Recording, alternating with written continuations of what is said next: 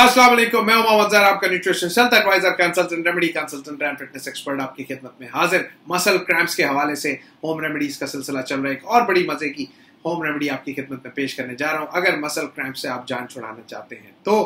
एक spoon yellow mustard एक glass नीम गर्म दूध के अंदर डालें और सुबह नाश्ते के बाद पी लीजिए मसल क्रैम्प्स से अपनी जान छुड़ाएं और अपनी लाइफ को आसान बनाएं तो बहुत कमाल की रेमेडी है मसल क्रैम्पिंग के हवाले से